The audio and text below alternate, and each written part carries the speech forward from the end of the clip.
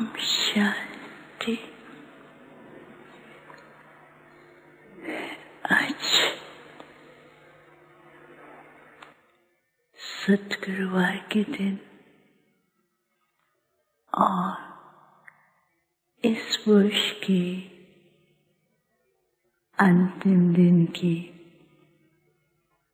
सब भाई बहनों की याद लेके जैसे मैं वतन में पहुँची, आज वतन का नज़ारा कुछ और प्रकार से दिखाई दे रहा था। वतन में क्या देखती हूँ?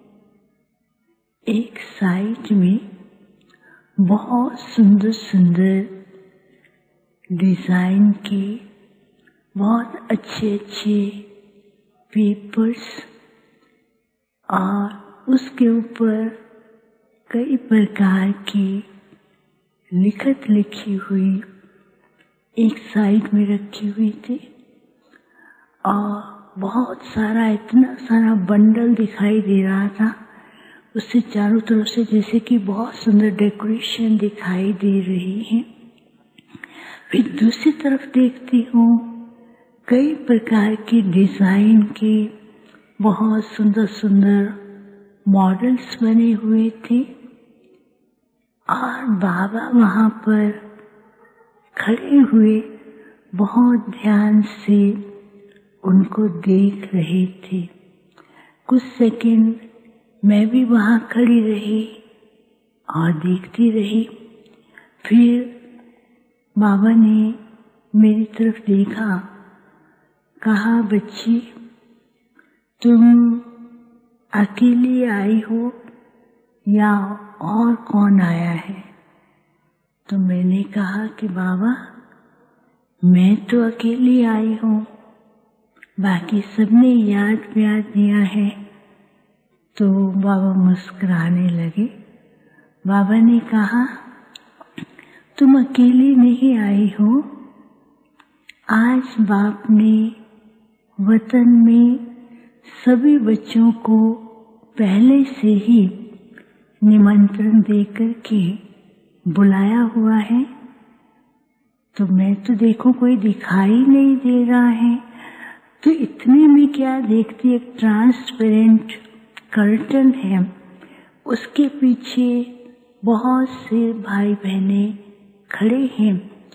और इतना सुंदर दृश्य लग रहा था।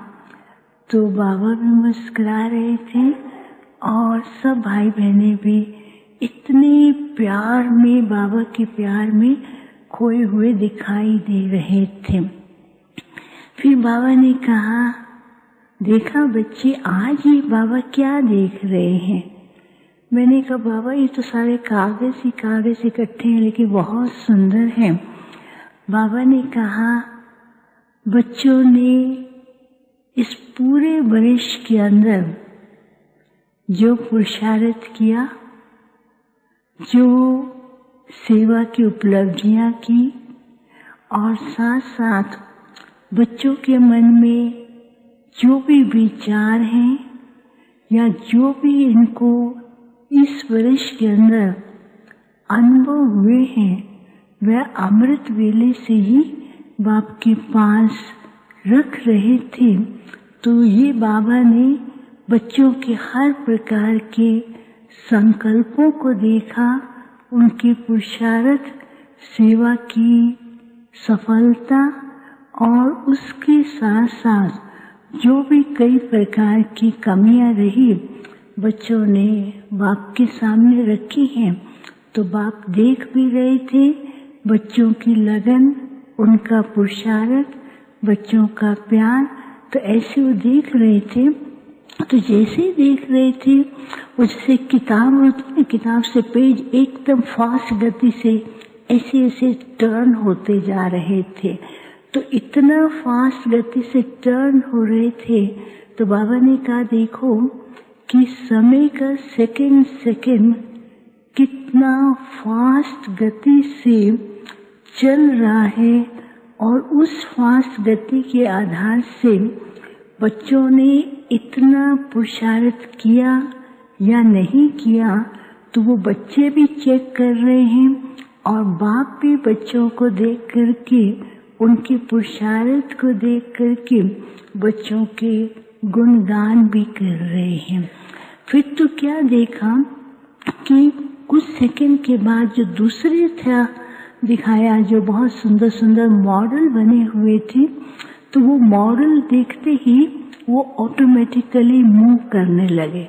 जैसे कि मूविंग मॉडल होते हैं ना तो ऐसे वो मूव करने लगे, लेकिन मूव करते करते उन मॉडल से कई प्रकार की लाइट भी निकलती थी, लेकिन साथ में फिर क्या हुआ, बीच के अंदर वो मॉडल्स रुक जाते थे। और वो जैसे रुक जाते थे तो मॉडल का स्वरूप जो है, बड़ा अजीब सा होता जाता था।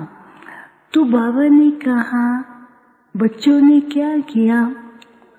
इस वर्ष पुरुषार्थ भी तीव्र गति से किया, सब कुछ किया सेवा के प्लान भी बहुत अच्छे किए, लेकिन बीच बीच के अंदर, बच्चों के अंदर कभी न कभी अहम भाव आने के कारण जो बाप बच्चों का स्वरूप विश्व के सामने प्रत्यक्ष करना चाहते हैं तो अहम भाव ने उस स्वरूप को वहाँ पर ढीला कर दिया। तो फिर बाबा ने कहा कि बच्चों का पुरुषार्थ बहुत अच्छा रहा, लेकिन और पुरुषार्थ को तीव्र करने के लिए फिर बच्चों को भी नए वर्ष में क्या करना है? तो फिर बाबा ने कहा, वर्ष 2021 ये बच्चों के लिए बहुत ही महत्वपूर्ण वर्ष है, क्योंकि 21 जन्मों की बादशाही के अधिकारी हैं। 21 जन्मों के लिए बच्चे हर बातों में संपन्न और स्वरूप बनने वाले हैं। 21 जन्मों के लिए पूरे विश्व के सामने एक ईष्ट के रूप में, देवता के रूप में प्रकट होने वाले हैं। तो फिर बाबा ने क्या कहा कि बच्चों को नए वर्ष के अंदर क्या करना है? तो पुरानी बातों के लिए बच्चों को फुल स्टॉप देना है। तो वो जो मॉडल दिखाया था ना मॉडल जो एक सुंदर सुंदर था, फिर बीच में खड़ा हो जाता था तो उसके ऊपर से जैसे एक लाइट आती है टॉप से लाइट आती है, और वो मॉडल के ऊपर पड़ती है तो वो मॉडल जो है एकदम ऐसे परिवर्तित होता है, और उसके परिवर्तन से फिर उसके द्वारा वैसा ही स्वरूप दिखाई देने लगता था। तो बाबा ने कहा कि अब इस वर्ष के अंत में बच्चों को क्या करना है, अपनी स्थिति को ऐसा लाइट बना कर के और बिंदियाँ लगा कर के ड्रामा की पार्ट को भावी समझ करके उसको बीती को समाप्त करके फिर अपने ओरिजिनल स्वरूप में टिके। फिर बाबा ने कहा अच्छा बच्चों से पूछना, नए वर्ष में क्या करेंगे? बच्चों के अंदर उमंग भी है और बच्चों के अंदर कई प्रकार के सेवा के प्लान्स भी हैं। फिर बाबा ने कहा, देखो, आज बाप बच्चों को नए वर्ष के लिए क्या गिफ्ट देते हैं? तो जैसे बाबा ने कहा ना कि क्या गिफ्ट देते हैं तो उस समय बाबा के हाथ में बहुत सुंदर क्रिस्टल का बॉल था। लेकिन वो जो क्रिस्टल का बॉल देखने में बाबा ने कहा, आज बाप बच्चों को ये क्रिस्टल का बॉल दे रहे हैं। लेकिन जैसे वो बॉल बच्चों के पास पहुँची तो वो बॉल जो था बच्चों के पास पहुँचते ही उसके अंदर अलग अलग प्रकार के कोई हल्का कलर, कोई बहुत सुंदर कलर कोई उसके अंदर बिल्कुल थोड़ा डार्क और ऐसे ऐसे रूप बदलते जा रहे थे। तो बाबा ने कहा, बाप जो है, नए वर्ष के लिए बच्चों को ऐसा क्रिस्टल दे रहे हैं। वो क्रिस्टल है क्लैरिटी का, प्योरिटी का और रॉयल्टी का।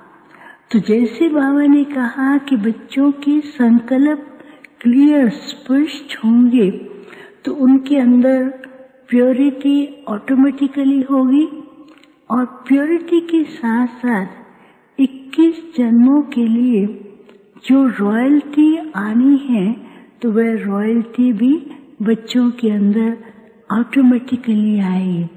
तो फिर बाबा ने कहा, देखा ये क्रिस्टल क्या है? तो मैंने कहा, ये तो क्रिस्टल है। बाबा ने कहा, ये क्रिस्टल ऐसा है, दुनिया वाले साइंस के माध्यम से कितने प्रकार के इन्वेंशन कर रहे हैं, लेकिन ये क्रिस्टल जो है, ये साइलेंस का ही विशेष इंस्ट्रूमेंट है। इस साइलेंस के विशेष इंस्ट्रूमेंट से ही एक तो अपने अंदर अपने को चेक कर सकेंगे कि मेरे अंदर कितनी क्लैरिटी है, कितना क्लीनिनेस है, कितना बाप से क्लियर कनेक्शन है। उसी से ही अपनी प्योरिटी की भी और परसेंटेज को बढ़ाते जाएँगे और जैसे जैसे प्योरिटी की परसेंटेज बढ़ेगी रॉयल्टी भी ऑटोमेटिकली आती जाएगी। तो फिर बाबा ने कहा, बच्चों को नए वर्ष के बाप मुबारक दे रहे हैं। फिर बच्चे भी क्या कहते, बाबा को कहते, नए वर्ष की मुबारक। तो बाबा ने कहा, देखो, आज बच्चे कितना खुशी से अपने मन के भाव प्रकट कर रहे हैं। तो बाप भी बच्चों के भाव को स्वीकार करते हुए बच्चों को विशेष स्नेह भी दे रहे हैं। स्नेह के साथ साथ फिर बाबा ने कहा कि इस नए वर्ष के अंदर बच्चों को क्या करना है? ड्रामा अनुसार एक तो इनको साइलेंस की पावर बढ़ाने के लिए, साइलेंस का प्रयोग करने के लिए, साइलेंस के द्वारा ऐसे ऐसे अनुभव करने और कराने के लिए ड्रामा अनुसार विशेष इनके सामने भाग्य है। फिर दूसरी बात बाबा ने कहा कि वर्ष, इस नए वर्ष के अंदर की संपन्नता और बाप के समान बनने का लक्ष्य रहे। तीसरा बाबा ने कहा कि समय ऐसा आ रहा है कि पूरा ब्राह्मण परिवार ऐसी यूनिटी बनाए, वो यूनिटी का स्वरूप जो है, लोगों के सामने ऐसा प्रत्यक्ष होगा, जिसके द्वारा उनको ये अनुभव होगा कि ये फरिश्तों का झुंड है। तो ब्राह्मण परिवार और आपस में यूनिटी और चौथी बात बाबा ने कहा कि अभी समय जिस तरह से फास्ट जा रहा है तो समय ऑटोमेटिकली बच्चों को परफेक्ट बनाने के लिए तैयारी करा रहा है। तो बच्चों को समय की गति को देखते हुए अपने को परफेक्ट बनाने के लिए पहले से खुद को तैयार करना है, क्योंकि समय भी बच्चों का इंतज़ार कर रहा है। फिर तो बाबा बच्चों को बहुत स्नेह भी दे रहे थे। कहा कि कमाल है बच्चों की, कैसे लगन से बाप को साथी बना करके हर परिस्थिति में निर्विघ्न होके और उमंग उत्साह से चल रहे हैं, ऐसे ही सदा निर्विघ्न स्थिति का अनुभव करते उड़े औरों को भी उड़ाते रहे। फिर बाबा ने सबको याद दिया और बाबा को मैंने भूख स्वीकार कराया। बाबा ने भी सबको बहुत प्यार दिया। अच्छा ओम शांति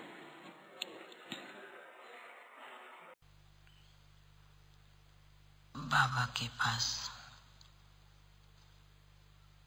वतन में भोग लेकर के पहुँचे। आज बाबा को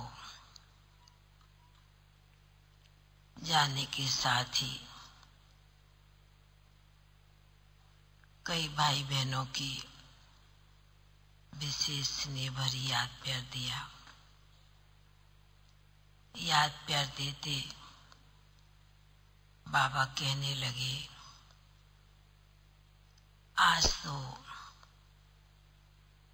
बाप के पास वतन में। हर बच्चे की विशेष रूप से सूक्ष्म यादें पहुँच रही हैं।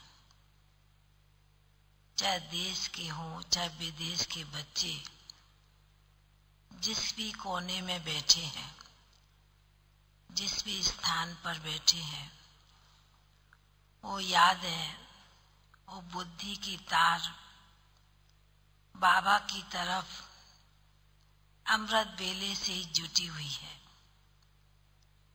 बाबा ने कहा, बड़ा सुंदर एक दृश्य मर्ज किया। बाबा ने कहा कि आज बाबा विशेष एक जग मगाते दीपक की तरह, विशेष करके जो बच्चे जिस भी कोने में बैठे हैं, जिस भी स्थान पर बैठे हैं, वहाँ विशेष रूप से एक जुगनू के रूप में बाबा चमकता हुआ, जैसे सभी बच्चों के पास चक्कर लगाते हुए यह देख रहे थे कि किस बच्चे की, किस प्रकार की याद बाबा के पास पहुँचती जा रही है। तो देखने में दृश्य ऐसा लग रहा था, जिस प्रकार जुगन होता है, टिमटिमाता है, पर जल्दी सीधे हाथ में नहीं आता है। दिखाई देता है रोशनी उसकी। तो बाबा ने कहा कि आज दीपक की तरह, जुगनू की तरह, बाबा विशेष बच्चों के पास सकाश देने, शक्ति देने के लिए निकले हुए हैं। तो बाबा ने कहा कि उस जुगनू को तो फिर भी कभी हाथ में ले लेंगे, पकड़ भी सकते हैं। पर ये शिव बाबा ऐसा जुगनू कहें, इतना तीक्ष्ण स्टार है जो कोई के हाथ में नहीं आता है। पर बाबा ने कहा कि इस चीज़ का बच्चे अनुभव ज़रूर करते हैं। तो ऐसे लग रहा था कि आज वतन में बच्चों की भाई बहनों की इतनी सिने भरी याद एक चुंबक के रूप में बाबा के जैसे कि आगे पीछे चारों तरफ़ चक्कर लगा रहे जुगने के रूप में घूम रही है। तो बाबा ने कहा कि आज के दिन तो विशेष सभी जगह के बच्चे यही संकल्प लेकर के बैठे हैं कि पुराने साल की विदाई करनी है। नए साल का आह्वान करना है। तो बाबा ने कहा कि जो साल बीत रहा है, उसके लिए तो बच्चे, बच्चों ने कई प्रकार के पेपर पास किए, कईयों के पास पेपर आए भी।